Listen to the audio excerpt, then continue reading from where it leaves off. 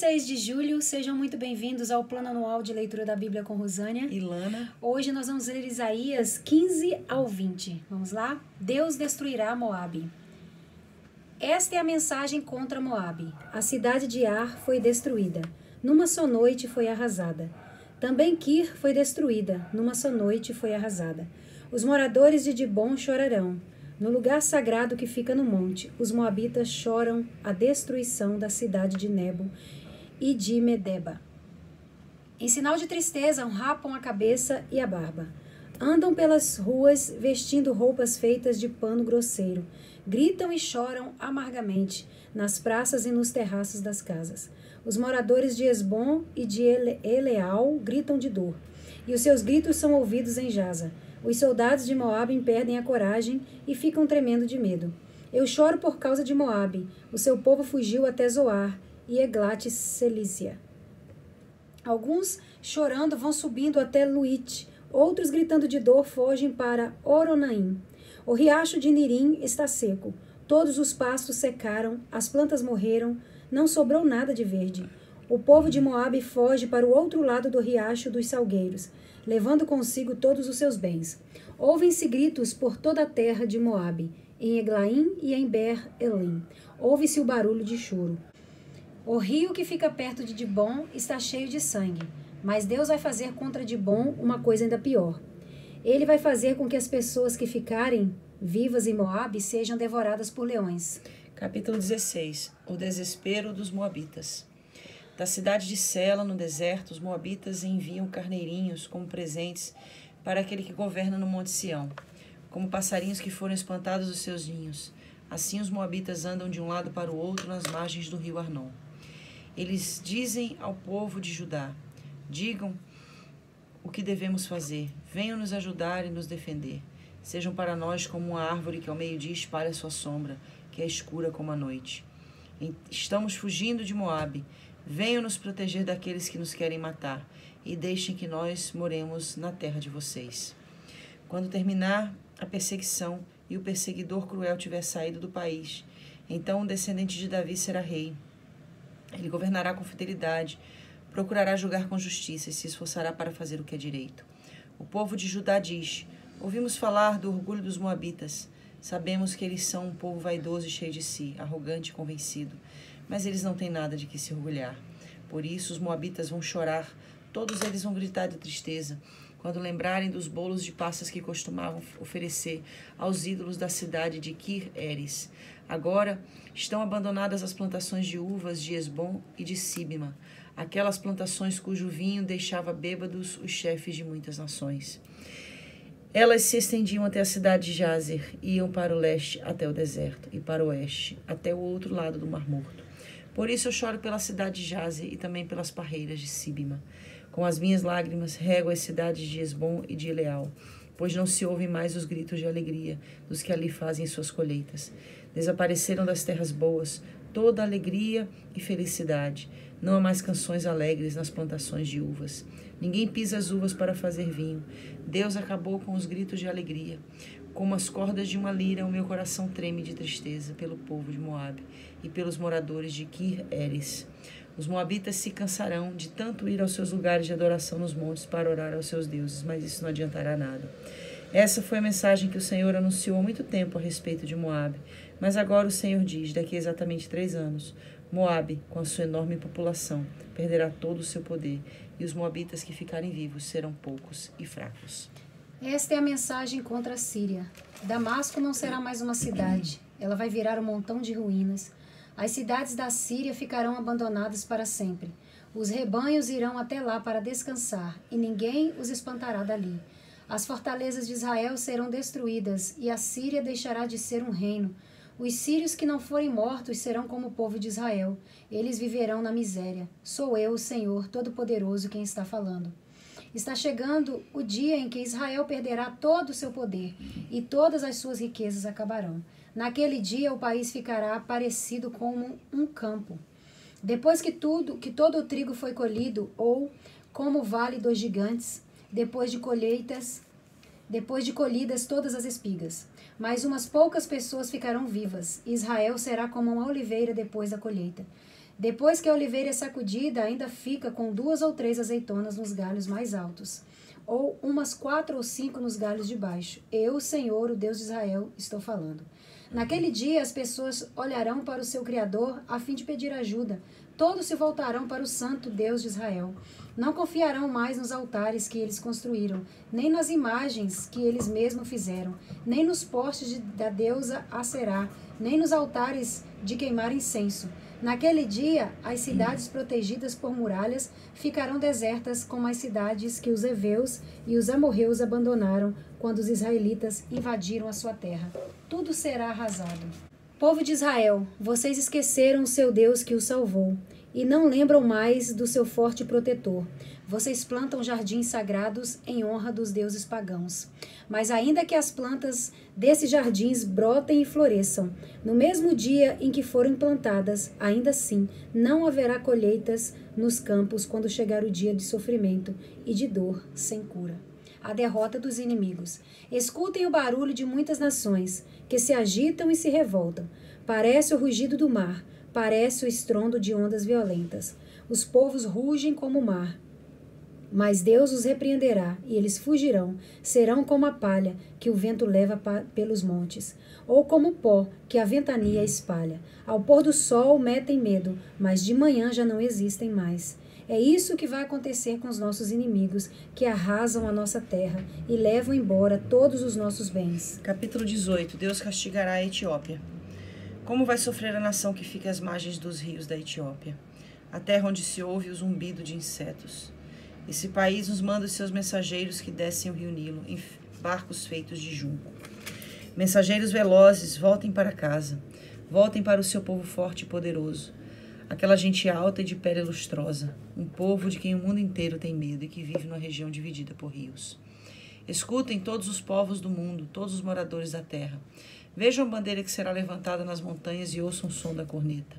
Pois o Senhor Deus me disse, do meu lar, lá no céu, olharei calmo e tranquilo, como o sol que brilha num dia de verão, como as gotas de orvalho que aparecem no tempo da colheita.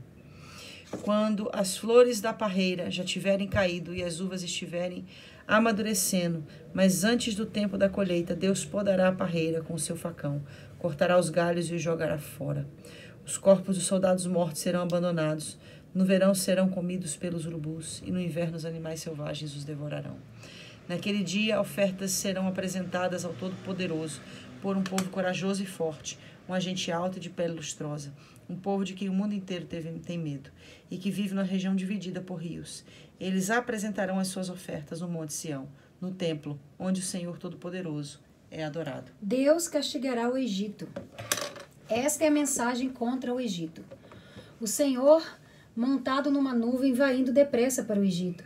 Os ídolos daquele país tremerão diante dele, e todos os egípcios ficarão com medo. O Senhor Deus diz: Vou atiçar os egípcios uns contra os outros. Irmão lutará contra irmão, vizinho contra vizinho, cidade contra cidade, província contra província. Os egípcios perderão a coragem, e eu farei com que os seus planos fracassem. Então eles consultarão os ídolos e os adivinhos os médiuns e os feiticeiros, mas eu entregarei os egípcios nas mãos de um rei mau, e ele os governará com crueldade. Eu, Senhor, o Deus Todo-Poderoso, falei. As águas do Nilo vão abaixar, o rio vai ficar completamente seco, as águas irão abaixando, os canais do rio ficarão todos secos e vão cheirar mal. Nas margens, as taboas e os juncos murcharão. Todas as outras plantas também morrerão, e as plantações das beiras do rio secarão. Tudo o que foi plantado será levado pelo vento e desaparecerá. Os pescadores ficarão desanimados e chorarão. Os seus anzóis e as suas redes não prestarão para nada. Os que fazem tecidos de linho ficarão aflitos. Os tecelões e os artesãos os artesãos cairão no desespero. As autoridades da cidade de Zoan não têm juízo. Os sábios conselheiros do rei lhe dão conselhos tolos. Como é que vocês se atrevem a dizer ao rei: Somos descendentes dos antigos sábios? Os nossos antepassados eram reis. Rei do Egito, onde estão agora os seus sábios?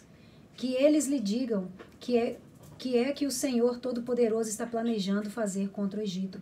As autoridades de Zoan perderam o juízo e os da cidade de Mênfis estão enganadas. Os governadores das províncias estão fazendo o povo do Egito errar o caminho.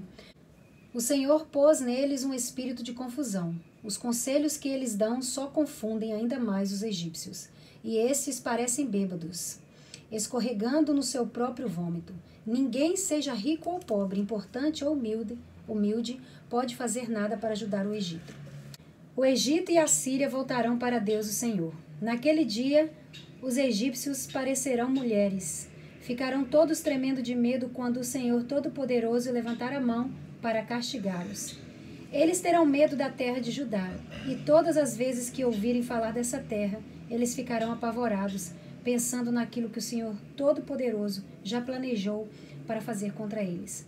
Naquele dia haverá no Egito cinco cidades, em que os moradores falarão hebraico e jurarão obedecer ao Senhor Todo-Poderoso. Uma dessas cidades será chamada a Cidade do Sol. Naquele dia haverá no Egito um altar dedicado a Deus, o Senhor, e na fronteira do país será levantada uma coluna de honra ao Senhor. Eles serão construídos para serem sinais e testemunhas da presença do Senhor Todo-Poderoso na terra do Egito. E quando os egípcios forem perseguidos e clamarem ao Senhor, pedindo ajuda, ele lhes enviará um Salvador e defensor que os livrará dos seus inimigos. E o Senhor mostrará aos egípcios quem ele é, e eles o conhecerão. Eles adorarão o Senhor e lhe apresentarão sacrifícios e ofertas de cereais. Farão promessas ao Senhor e as cumprirão. E o Senhor ferirá os egípcios, mas depois os curará. Eles se, eles se arrependerão e voltarão para o Senhor, e ele atenderá os seus pedidos e os curará. Naquele dia haverá uma estrada ligando o Egito com a Síria. Os egípcios irão até a Síria e os assírios irão até o Egito, e juntos os dois povos adorarão o Senhor. Naquele dia, essas três nações, Israel, Egito e a Síria, serão uma bênção para o mundo inteiro. O Senhor Todo-Poderoso os abençoará, dizendo: Eu abençoo o Egito, o meu povo, a Síria que eu criei, e Israel, o meu povo escolhido. Capítulo 20 a Síria conquistará o Egito e a Etiópia. Sargão, o rei da Síria, enviou seu exército, comandado pelo comandante em chefe, para atacar a cidade de Asdod, e ele a conquistou. Três anos antes disso, o Senhor Deus tinha dito a Isaías, filho de Amós: Tire a roupa de pano grosseiro que você está vestindo e tire também as sandálias. Isaías tinha obedecido e havia andado meio nu e descalço. Depois da conquista de Asdod, o Senhor disse: Durante três anos, o meu servo Isaías andou meio nu e descalço como um sinal e aviso daquilo que vai acontecer com o Egito e com a Etiópia. O rei da Síria levará como prisioneiros os egípcios e os etíopes, tanto os moços como os velhos. Eles irão meio nus e descalços, com as nádegas descobertas, trazendo assim vergonha para o Egito. Então, aqueles que confiavam na Etiópia e que se gabavam do Egito ficarão desiludidos e decepcionados. E os povos que vivem no litoral do mar Mediterrâneo dirão: Vejam só o que aconteceu com aqueles em quem nós confiávamos e a quem fomos pedir proteção contra o rei da Síria. E agora, como é que nós vamos escapar? É, eu não sei se você percebeu, mas esses cinco capítulos que a gente leu, né? 15, 16, 17, 18, 19, 20, seis capítulos. capítulos. Olha, nesses seis capítulos que a gente leu, todos os capítulos tinham a seguinte definição, o seguinte tema Deus destruirá Moabe, o desespero dos moabitas. Deus castigará a Síria e Israel. Deus castigará a Etiópia. Deus castigará o Egito. A Síria conquistará. Ou seja, resumindo, todas as profecias desses capítulos que nós lemos, elas fazem menção ao juízo de Deus contra as nações pagãs. Isaías profetizou, trouxe o juízo de Deus contra Judá, contra o Reino do Sul. Mas Isaías também foi usado para trazer o juízo de Deus sobre as nações pagãs. Só que o que eu acho mais lindo no final desse contexto que a gente leu é que aí ele fala, né? E depois a, a, a Síria será minha, o Egito será meu, eles serão meu povo. Ou seja, mais uma vez a gente entende que toda a, a manifestação desse juízo que Deus traz também sobre as nações pagãs é com esse desejo de que eles o conheçam. Misericordioso. De né? que eles possam reconhecer que só Ele é Deus e que eles possam ter com Ele um, um, um encontro verdadeiro. Conhecê-lo, né? Sim, Deus isso. dá sempre oportunidade, dá sempre oportunidade para os povos, né? Exatamente. E aí a gente entra dentro desse contexto daqueles que não são crentes, né? Daqueles que não são, não são salvos, ainda não conheceram ao Senhor Jesus. Ou seja, e que, e que, que compreensão a gente tem? Deus também entra com juízo na vida dessas pessoas para fazer-se conhecido. Quantas pessoas não conhecem a Deus depois de uma dor? Quantas pessoas não conhecem a Deus depois de uma perda? Quantas pessoas não conhecem a Deus depois de, uma, de um trauma, de- depois de uma quebra de, de situações? Enfim, a pessoa vivencia uma situação eh, traumatizante. Aí ela, naquele momento ela tem aquele, aquela oportunidade de buscar e de conhecer ao Senhor de verdade. Ou seja, o juízo de Deus ele sempre vem com essa proposta de se fazer conhecido. É sempre com o intuito de trazer o povo, né? De dar oportunidade, né? De ser conhecido. Sim, é um E profeta. novamente aqui ele falou sobre, no, cap, no capítulo 16, versículo 5, então o descendente de Davi será rei. Ele governará com fidelidade, procurará julgar com justiça e se esforçará para fazer o que é direito.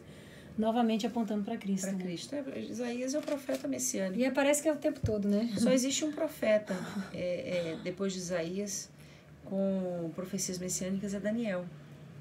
Só que no caso Isaías tem um volume muito maior. E é muito mais direto, né? É, tem um volume muito ma- maior, então automaticamente existem mais profecias messiânicas. Que você possa aprender no dia de hoje. Mais uma vez o Senhor fala conosco. E ele vai falar muito dentro dos livros dos profetas, porque o livro dos profetas são palavras proféticas contra o pecado, é a condenação contra o pecado, é, é- é o convite, o chamado ao arrependimento, porque Deus não se agrada da morte do ímpio, mas antes que ele se, se converta e viva. Então, de Isaías até Malaquias, que é o último profeta, o último livro, inclusive, do Antigo Testamento, nós vamos receber muitas dessas palavras, aonde o Senhor nos traz a importância de ouvirmos a sua voz e de nos arrependermos de todo o mau caminho, para que nós possamos verdadeiramente conhecê-lo. Que Deus abençoe sua vida. Amém.